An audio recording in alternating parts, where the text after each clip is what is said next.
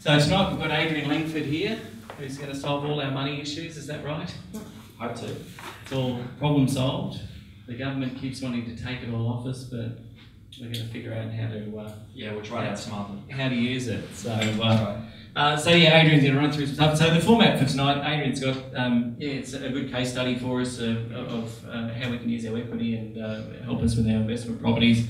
Uh, and we'd really encourage everyone tonight to uh, ask some questions. You know, it's obviously nice to live in a gathering, so any questions uh, from a mortgage broker? Um, you don't have to sign up for a loan tonight to be allowed to ask a question. Is that right? It's preferable. Okay, so we'll we'll see how we go. There's too many questions. You'll want a couple of loans written. Just tonight, I think Yeah. we'll, we'll be fine. Okay, and amazing deals uh, from the bank. Oh, every- every day. No, so uh, look, this is very much an information session uh, in terms of um, yeah, what's happening out in the market for mortgage. So, right, Adrian, over to you. I haven't got any um, introduction music or anything, so we might just need a little round of applause or something. Right?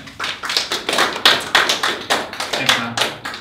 Uh, thanks everyone for coming tonight. Um, yes, my name's Adrian Langford. I'm a mortgage broker uh, with Nectar Mortgages. Uh, so I was invited tonight to give a presentation on investment lending or uh, lending for investment properties. Uh, but, but look, it's fairly flexible. Um, I do have a case study and example to run through and hope to hit on a lot of the major issues with lending. Um, so any questions that you have along the way uh, or any other associated issues that might spring to mind, please let me know and we'll, we'll try to talk about it on the way through. Because I feel that these events are a lot more, uh, run a lot better if they're interactive. Um, if you want to relate to your own circumstances and you have a burning question as we're going, yeah, please let me know and we'll talk about it. Okay, otherwise we should take about half an hour. So, yeah, my theme for tonight, using equity in an existing property to fund uh, a property purchase. Um, so as we move through the examples, uh, topics we'll, we'll cover off on, uh, loan structuring, which as a from a mortgage broker's point of view is quite important, so I'd like to talk to you about that. Um, owner-occupied lending and investment lending, what's the difference? And there's different rates, there's different policies, we go to different lenders for that sort of stuff. So I'll talk to you about that. Uh, loan to value ratios, LVRs, you've probably come across that, and loan, loan mortgage insurance, LMI. But you know, really, what does it really mean, and how does it affect your loan? What you need to know about it? So we'll talk about that as well. Uh, principal and interest repayments, interest-only repayments, options that we have, particularly when we move into the investing sphere of lending. Uh, loan costs. Often, you know, we find our dream place and we, we calculate in our head what we need, um, but there's other associated costs with a loan, and I'd like to talk to you about that, spell that out on paper. Uh, and, and look, any, anything and everything else that comes up along the way. So again, keep it interactive. If you have any questions, please let me know. Um, um, I've, I've used uh, one of Matt's properties as a case study too. Is it still available, this one? Yes, it is. Yes, Okay. have the contracts here at the office. Yeah, right. Well, it's a gem. Happy with that? Any, any questions or issues at the moment? Anything that someone wants to talk about that's not on this uh, page? No? Okay. Maybe later. Okay, starting with, with equity, what is it? So, so when we talk about tapping into equity to, to fund a property, what are we really talking about? Um, so, so equity is the difference in the value of your home versus what you own your home. Um, I just use very simple round numbers. Your home is worth $500,000 and you owe the bank $300,000, you own $200,000 worth of that, of of that property, uh, and that's your equity. Um, so, so typically people talk about tapping into equity uh, for, for a number of reasons. Um, now I'll just move to that slide. So people uh, say we'll use equity um, to do a number of things. Um, consolidate debt. For instance, they might have credit card debt or a car loan or whatnot. Um, your credit card debt and, your car loan might be at a probably is at, at a high interest rate, whereas your home loan interest rate is lower. So people like to incorporate that more expensive debt into less expensive debt. So they use the cheaper money of a mortgage to buy out more expensive debt of their credit cards. So, so that's a common reason. Um, what we're going to be talking about tonight is to use those funds, that equity, to purchase an investment property. Uh, so a scenario where I own my own house and I live in it, and I've got a bit of equity in my home. That is, I owe the bank less than what the property's worth, and I want to take that difference and use it to fund my next investment property. So that, that's um, a very common reason and, and what we're here to discuss tonight. Uh, consolidate debt, we've covered. Uh, renovation as well. Um, you might own an investment property. Uh, you bought it three years ago. Um, you've had good, uh, good tenants in, been getting a good uh, rental return. You've also been uh, contributing payments to that mortgage. So you've got the mortgage down. With any luck, the investment property value has increased as well. So we now have equity in the investment property. Um, you speak with Matt, and, and Matt advises that with a, a, bit of renovation, if you spruce up the bathroom and the kitchen, put some new carpet down, uh, your investment property will increase by $50,000, and this might only cost you $20,000 to do.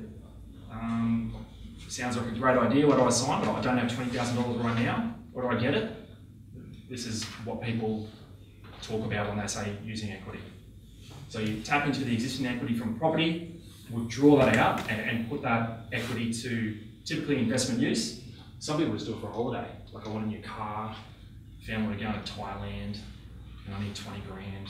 Adrian, can you refinance my house and give me this money? So that's another reason as well. Does it make sense? Yeah. Any questions? No? Okay.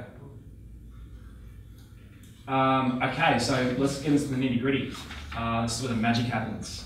And again, along the way, we're, we're going to be touching some of these key points uh, with, with mortgage lending. So if there's any uh, terms or concepts that you want more information for, please let me know. Okay, so and this is a typical situation. So Scott, Scott's our example. He lives in Greenslopes up the road. That's his house. Nice little house in a nice street. Um, $700,000 value. That's what Matt's gone and checked it out. Matt knows his values and he says, I for $700,000 here. Um, originally, when Scott bought the home three years ago, he took out a mortgage for $400,000 to help him purchase that home. He obviously would have had access to some other cash at that time.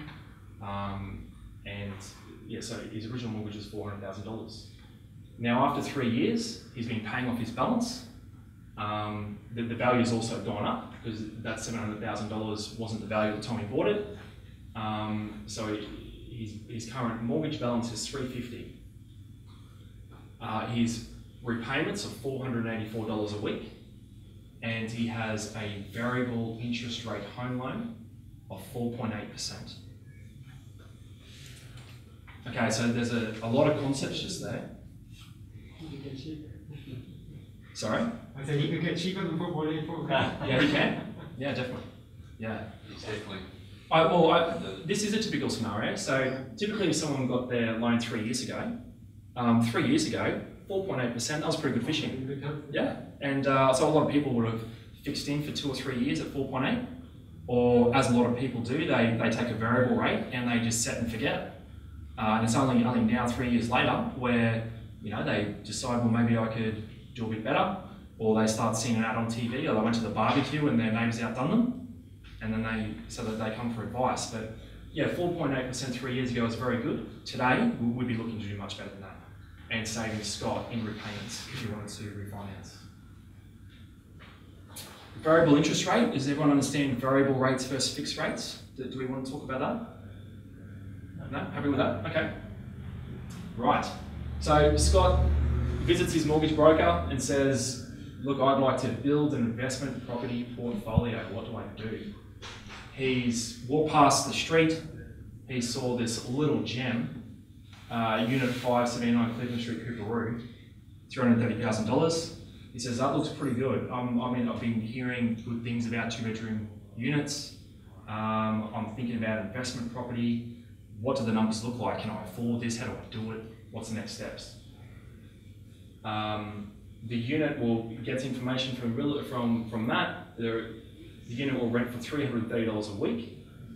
Um, he's got no savings to contribute and or doesn't want to contribute any savings. Um, he's wondering, look, I've heard about this equity, how does that work? And, and what does it look like? So typical scenario. Agree with that? Yep. Okay, so um, my job as a mortgage broker, I, I, typically start at the back end. So I, I look at, okay, so what, what's required for us to get into this investment property? What do we need? Let's look at the, the investment property to start with. So, can everyone see that? That's a bit close to the edge. Um, loan mortgage insurance. So I'm going to just talk a bit about LMI and loan to value ratios. So all lenders uh, in the country, um, where you borrow more than 80% of the value of the property, so your loan to value ratio, your LVR, is greater than 80%, the bank uh, takes out insurance against you in the worst case that you can't meet your repayments. When you're above 80% of a loan to value ratio, the bank deems you as a high risk lender. They take an insurance against you and you have to pay that insurance for them.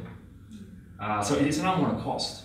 Um, now, most people entering property do pay um, loan mortgage insurance because typically their LVRs are above 80%, particularly first home buyers.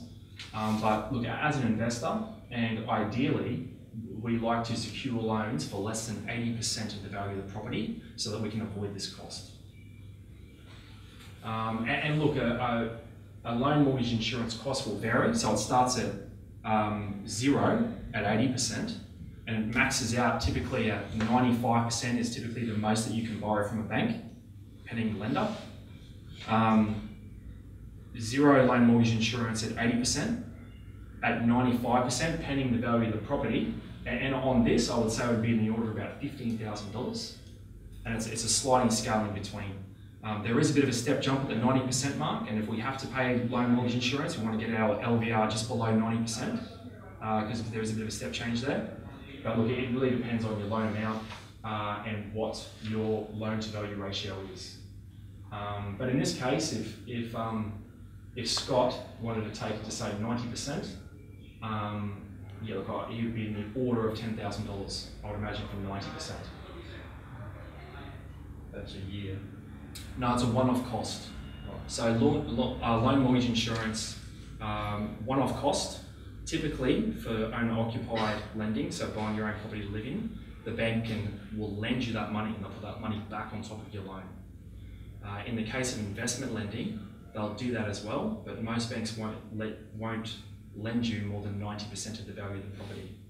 Um, so if you want to put your loan mortgage insurance back onto the loan, you, need an LVR of say 85% um, and enough room to put that loan mortgage insurance cost back onto the loan. Does that make sense? Okay, so so Scott says, look, um, I really don't want to pay this loan mortgage insurance. Adrian, what do I do? Okay, I say, well, we need an LVR of 80%. So our loan value is 330. Our max loan amount can only be $264,000. That's 80% of the value of the property. Um, now, he says, okay, well, what about interest rates? Um, so investment interest rates, they're typically a bit more than owner-occupied investment rates. Owner-occupied, you're going to live in your property. Investment is you're going to rent it out. Um, early, at, at the moment, look, I've got 30 lenders on the panel, and look, it varies, and it really depends on your circumstances and the policy of that lender, uh, and the discounts that, that we can try to negotiate on your behalf, depending on your circumstances. But generally speaking, at the moment, for investment lending, um, low, low to mid fours is, is pretty much the mark. I've picked out a nice conservative rate here of 4.19% for investment lending. So $264,000 over 30 years, variable interest rate at 4.19%. The repayments, principal and interest, so paying the interest and also paying down the principal of the loan, $297 a week. If we go interest only, which we can because it's an investment property, it's $212 a week. Which is, which is pretty good. Um, when you consider that we're getting $330 a week rent and our interest only mortgage repayments are only $212 per week, that's what you consider to be a positively geared investment property, which, which again is another good thing. Um, look, I, I've done this 6.5% gross annual return on the loan amount. I mean, obviously there's other considerations, but on, on the loan amount, it's, um, it, it's pretty good. So what does Scott need to make that happen? So if we've got a $330,000 purchase price our max loan amount is only 264, um, so we're missing $66,000. So he's going to need to contribute the remainder, the difference between the loan amount and the property value, just to just to buy the property. He's got to get that money from somewhere. Uh, and then there's also associated costs. So you've got stamp duty. Now, stamp duty for investment properties in Queensland, it, again, is slightly higher than stamp duty for owner-occupied properties. In this case, stamp duty in Queensland for this amount, uh, it was just shy of $11,000. And I've also added another $3,000 to cover off legal fees, building and pest report, um, there's an application fee for the mortgage, three grand should pretty much cover us. So you really need $66,000 plus another $14,000 of extras, total of $80,000 to get himself into that property. There's a lot of calculations there and it's, it's um, can actually be quite complex.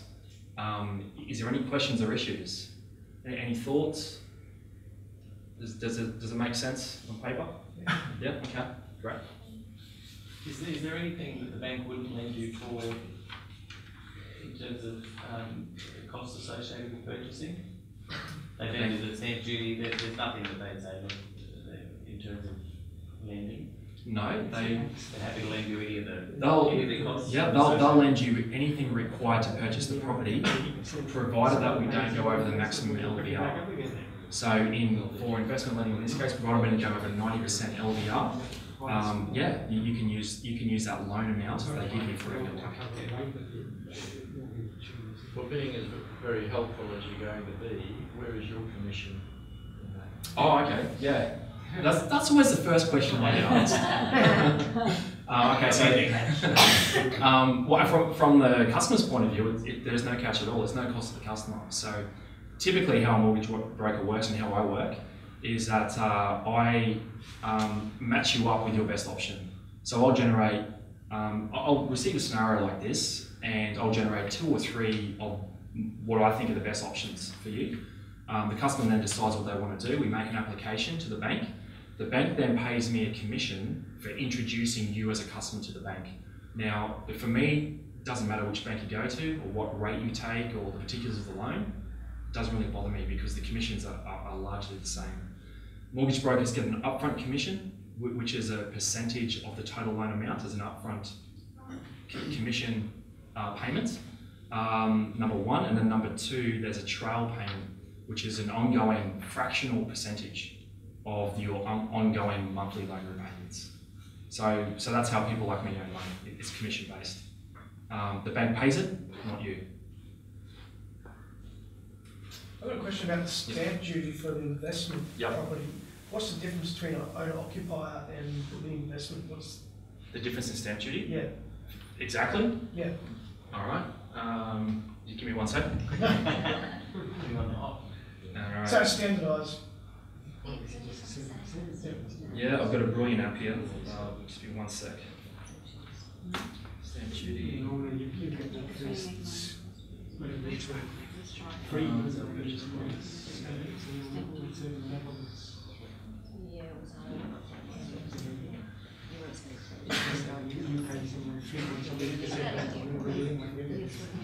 Yeah, uh, it's, a, it's, it's a big difference. Um, Queensland's quite severe, the difference between investment and owner occupied. So for this case, I've got, if it was owner occupied, um, the stamp duty is $3,300. There's a registra- there's a transfer registration cost of 645, mortgage fee of 168. Total, um, comparable to this total figure, is $4,104.20. Yeah, it's a big diff. Worthwhile moving into the six. Yeah, yeah, definitely. Um, okay, so so key principles here for, for Scott to get this without outlaying any cash, he needs eight grand. Yep. Okay, so let's look at refinancing his existing loan to access that eighty thousand. Scott owes three hundred and fifty thousand dollars. He needs another eighty thousand dollars to cover all associated costs. So my refinance loan amount is four hundred and thirty thousand dollars. So refinancing, what I'm telling Scott is, I'm gonna, well, not me, but a bank is gonna buy out your existing mortgage. And when we buy out your existing mortgage, we're actually gonna buy it for more money than it's worth and I'm going to give you the change. The bank's going to give you the change. So that's essentially what we're doing with a, with a refinance. Um, the loan to value ratio for this new refinance is, is great, it's 61%. So we've got $430,000 over a $700,000 value. Great, it's under, it's under 80%. No loan mortgage insurance, so happy days, Scott's happy there. Now, uh, again, um, there's better rates on offer than this uh, for owner occupied lending. Again, I've, I've taken a typically achievable owner occupied rate as of today of 3.99%. So for $30,000 over 30 years at a variable owner occupied rate of 3.99 equals repayments of 473 per week. And that's principal and interest. So which would be probably most likely similar to his original loan. Um, and banks, most banks these days, uh, if you're buying owner occupied, they'll want you to do principal and interest, or at least a component of the principal.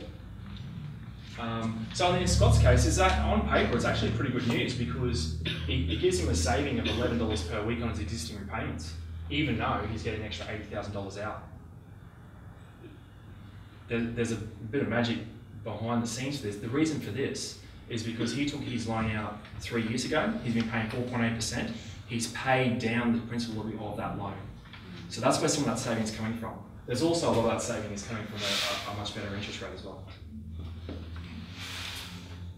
Okay, so, so in, summary, with this, we, tell Scott, well, yes, we, we can do this deal, certainly. Let's refinance your house. Your repayment's going to be roughly the same. So your out of pockets week to week is, is really no different. It's actually a little bit less. Um, we'll put you into this, uh, into this investment property on Cleveland Street. Um, the rent from Cleveland Street is, is going to pay for the mortgage. Uh, and in fact, it's going to generate a small surplus there. And that might be enough to pay your body corporate and do some maintenance here or there. Uh, so, you know, that property is pretty much holding its own uh, and some. And, and your, yes, your, your loan has gone up over 30 years. Um, however, if you look in terms of expenses today, it's exactly the same. Does that make sense? Is that, yeah, uh, thoughts or comments, questions, concerns? Normally when I'm sitting down in someone's lounge room, we get to this stage, they're, oh, what about this and that? And there's all sorts of questions. No? Okay. Um, just a few other things, like um, again, this is my role as a mortgage broker, which is probably a bit different to the banks. Is I also look at at, at things at your loan structure. Um, I'd always suggest to Scott that these loans should be standalone, in that they they support themselves. That is, they match, they comply with bank policy in their own right. Uh, if you walk into a branch of a bank, typically um, they'll ask you or want you or encourage you to cross collateralize your security. So, what that means is they take the value of, of your unoccupied property plus a new investment property and they add it together. When they add together your uh, existing loan amounts and your new loan amounts, and they use that for the purposes of working out your LVR. Um, and sometimes that has advantages because sometimes um, you, you know you've got you can essentially buy your, your second property at, at, at 100 at 100% or get a mortgage for 100% of the value of your second property because you can spread that equity across both loans by cross collateralizing. Uh, so sometimes it, it has its advantages, but typically we advise against it um, because you can come unstuck in the future. And, and typically we see situations where someone's entered into a situ- situation like this, but the loans are cross collateralized. Um, Scott wants to sell one of the loans in the future. All the equity is on one property and not the other. So if he sells um, the property that has equity, he, he'll, he'll get a bit of a profit. But then the bank will ask him to put some money back in against the other loan because that loan now independently is non-compliant with, with bank policy. It might be a 100% loan to value ratio or worse, it might be negative equity. So the bank will want you to correct that. And typically how you correct that is you have to give them a lump sum of cash. Uh, to, you know, to, to bring the value of, loan, of the value to loan ratio down. Um, it becomes really important if you're moving into your second, third, fourth property. Uh, you want a situation where you have flexibility to apply to refinance different homes at different times and apply different rates for different reasons or sell um, at different times. Uh, so I'd always encourage you to, to look at making them standalone loans. Um, Scott always also asked about loan splits, um, which when we get into investment lending is also a good idea. So a loan split in this case would be when we refinance this amount of money, it's one loan, but we split the loan two ways. We have a loan for $350,000, split one, and then I have a split two investment loan for $80,000. So, so that will, on paper, separate out the purposes of the loan, and we can say, well, this portion, the 350 grand, is for owner occupied lending, whereas our second portion for $80,000 is for the investment lending. So when you go to taxman at the end of the year, it's all spelt out. You can say, well, here's my investment loan that I've got, but also on my owner occupied mortgage, there's an investment split here. So I, I want to, you know, this investment split should also be attributed to my investment property for tax purposes. Um, excuse me, I have a question. So therefore, are they different rates? Yes. Yep, they are. If you want to take advantage of the tax, yeah. So that's a personal choice. Some people say, well, I just want the owner occupied rate, I don't care about tax. And because the majority of this loan is for owner occupied purposes, we can put it through as owner occupied. But then some people, particularly with uh, more than one investment property, it's all about tax. Not all about tax, but it's very important. Um, and they'll, they'll want to split so they can go to, when they, for tax time, they, they can use the full amount of this $80,000. Um, but, but it's actually, even though yes, that's investment rate, it's actually not too bad because our investment rate for this on this example is 4.15%. And over the $80,000, I haven't worked it out, but it, it, it wouldn't be a great deal of money extra in repayments a week. And would there be potential that only paying interest only Correct. on that Yep. amount then? Yes, definitely. Mm. So there's no lenders that would actually give you the investment loan at the same rate as this? Uh, Bank of Queensland has a good deal at the moment. It's got to be fixed. Their policy's pretty tight. They've got other policy re- restrictions. Um, they want to cross collateralise your properties. Um, generally speaking, no. Rates, I find uh, there's a lot of room for negotiation of rates at the moment. Um, and part of my job is that I, first of all, we work out the loan structure and not even talk about banks. Uh, then I'll take that to individual banks and negotiate rates. So you, you can get pretty close. Uh, some banks might even match it, but generally speaking, no. And is that cross collateralisation is in the bank's interest in terms of security over multiple properties? Is that Yeah, so as I've been told by um, people that work in the bank, um, the ide- ideology behind that is the bank then has more control over, over your security. And they know then that's really hard for you to refinance one of those loans out. Um, so, you know, they, they've, they're sort of weaving that web, if you like, and they'd like to give you a credit card and do the general banking uh, and create this uh, environment where it's really hard for you to leave. And that, that's fine, that's business. Um, I think as an investor though, you just need to be aware of it and decide is that for me or is it not for me? And if it's not for me, how do we, do, hmm, excuse me, how do we structure that up?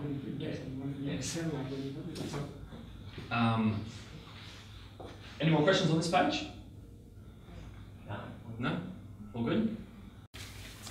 Okay, and I thought I'd just speak generally about um, investment lending. And again, if you have questions about owner occupied or anything else, bridging loans, whatever, uh, we can talk about that as well. Um, so yes, LVR for investment lending is um, it, it's more restrictive than owner occupied. So with our owner occupied, we, we can. There's a number of banks that will give us 95% of the value of the property plus uh, LMI on top of that and you, you can, you know, with, with that, you can almost get 100% loan. With investment, no. The max they'll give you is 90%, it is, is, good, is good fishing. Some banks are 80%, and uh, there is some circumstances where it's even lower. So at the moment, um, there's a number of, particularly the, the mainstream lenders, who are a bit shy about some of the high rise going up in the CBD, in the 4,000 postcode. Um, and we haven't seen that fully play out yet, but I would imagine as, as time goes on, the LVRs required to purchase one of those properties will be even lower again. and, they'll, they'll start really turning the screw on that sort of lending. Okay, yep. Um, yeah, uh, investment rates are typically higher than owner occupied rates. Uh, uh, again, it's um, comes down to negotiation as well. But generally speaking, you're going to pay more for your investment property and rates. I, I suppose the trade-off is, is that you can, as Matt alluded to, you can get uh, interest on the repayment as opposed to princi- principal interest. Go some way to, to offset it. Um, I, I will say though, again, the, the, the gaps in the rates aren't huge in the moment, at the moment. So in this example, 399 versus 4.15, um, you know, depending on your loan, that, that's 20, 30, 40 dollars a month on the back end. It's not really a great, it's more money, but it's not dramatic. Um, also, um, I haven't touched on tonight about general policy, but, but servicing is quite a big issue when, when we go to a, bank seeking a loan. Um, so people, when they want to jump into investment property, typically have the idea, well, oh, look, the rent will pay for itself. And in this in, in uh, example of Cleveland Street, it does. Um, just be mindful that most banks will only take 80% of that value of that rent, so $330 a week times 80%, for the purposes of you passing their assessment test as to whether or not you have enough income uh, to, to service the loan. So it's just something to keep in mind. And, and again, when you go sit down with your bank or visit a mortgage broker, uh, the, the calculations supporting your application are very important. And in, in investment, they're, they're a bit different to an owner-occupied house that's been supported by a salary. Any other thoughts on, on inve- uh, investment lending? That, that's, that's pretty much uh, my presentation on investment lending, but I'm very much happy to talk about anything else. You say that eighty percent of the rent, is that the gross rent or the? Gross. No, gross rent. Uh, so yeah, what's required typically is uh, an appraisal from real estate, signed on letterhead. Um, you, you come down the office here, they, they draft you up a one pager. It's got Matt's name on it and his, his letterhead, and he signs off, and that, that's good enough for the bank. Uh, just a question about the uh, cross collateral loan. Yep. Is it easy enough to, um, yeah, to get scanned? Yeah, yeah, to uncross. Yeah. Um, well, it, it depends on it depends on your circumstances. Um, what you would need to do i- i- is follow a, a similar process to this. Yeah. So you would need to refinance So if L- LVR was not like below eighty percent. for both. Yeah. Oh, if it's below eighty percent for both, it's fairly straightforward. So, is it, Yeah. and if you were looking at, to use that as a, for equity for another property, Yes. how does that work when they look into the cross collateral? Oh, okay. Look, again, it, it depends on your circumstances, but if you had a situation where uh, your loans were clumped together, um, however, in the the ultimate value of those properties and the ultimate um, what you owe on those properties was below eighty percent. Um, yeah, one we could refinance and distribute that equity across both loans independently and have two independent loans. Um, depending on if you had more space as well, you could potentially use that extra capacity, another split, say, Mhm. for cash in your pocket for whatever renovation or, or um, as a deposit for your next property or Yeah. holiday, Yeah. whatever people use it for. So when um, um, taking a cash surplus in your pocket, um, you, you can use it for whatever you want. Now, we, we typically tell the bank it's for future investment purposes, and, and they like that. Mhm. Um, any, anything house related, so investment related, uh, purchasing an investment property, no worries. Um, people who are getting cosmetic surgery or whatever, the, the bank's probably going to say, well, you know, really? But, you, you know, you, yeah, it can work. Yeah. uh, moving on. Yeah.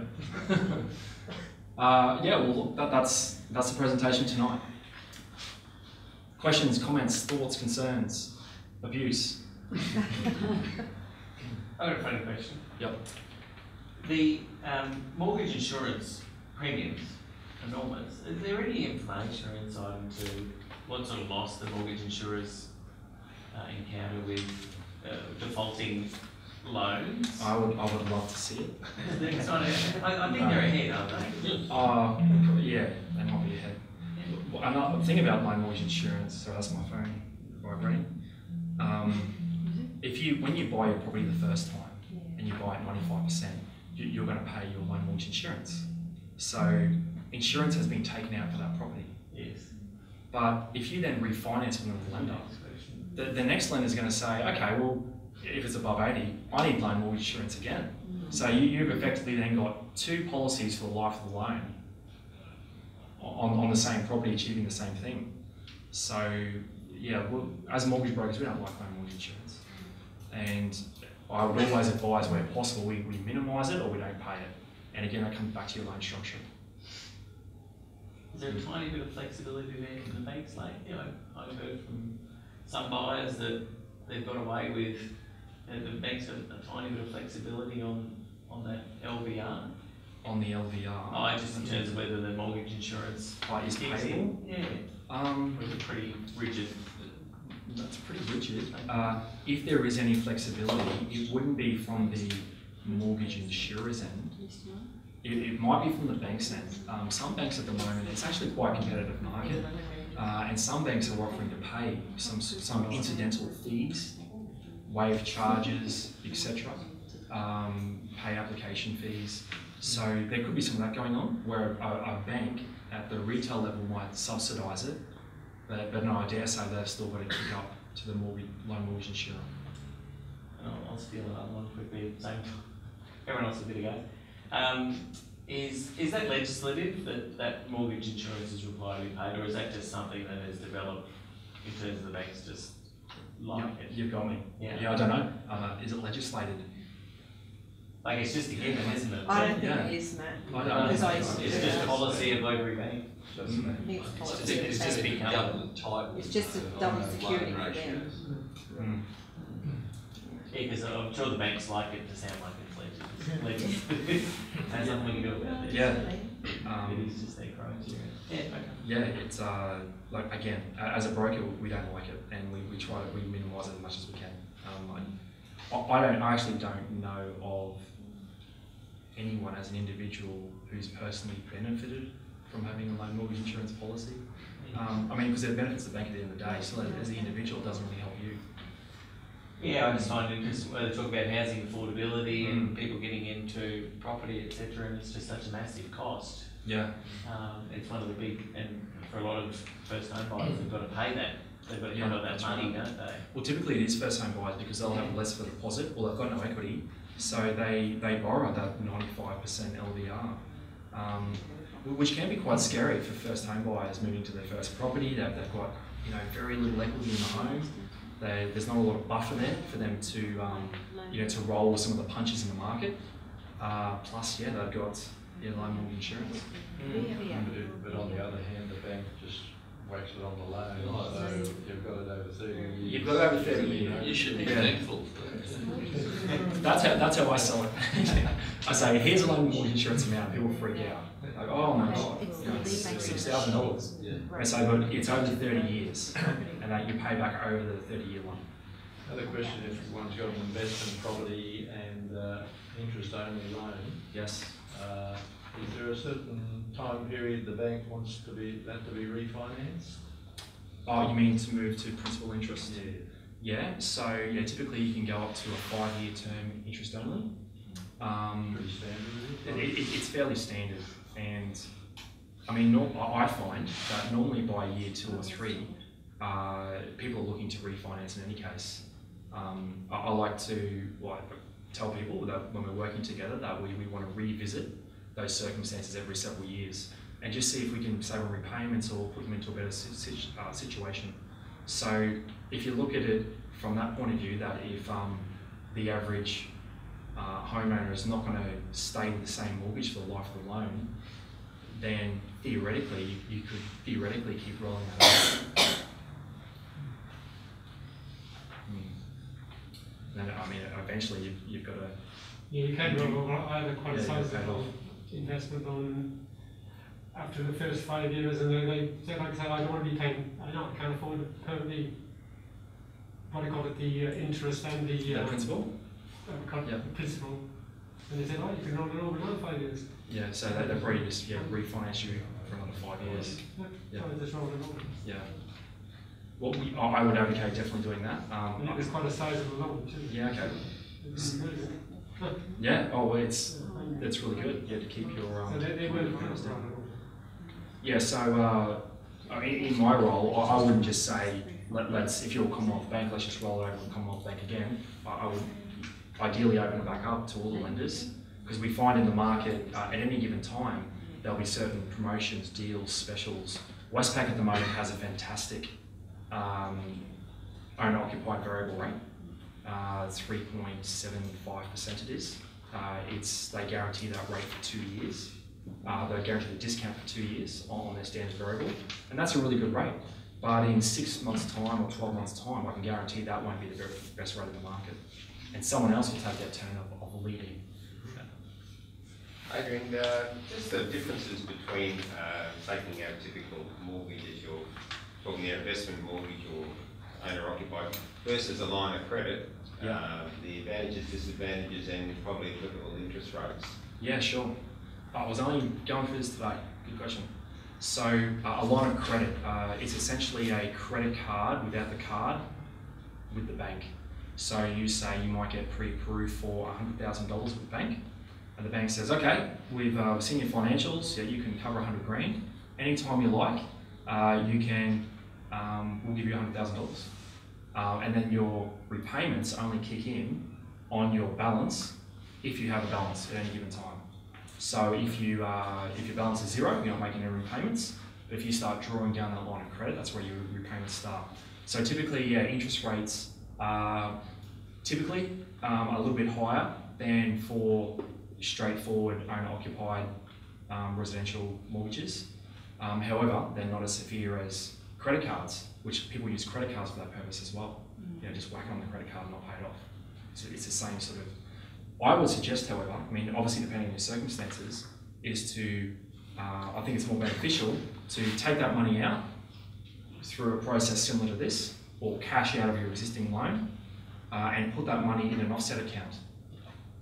Because that way you're still getting the benefits of reducing your interest, and you've got that money at a home loan rate, not a line of credit rate, or not your credit card rate, um, and you can just pay it off as you do your mortgage.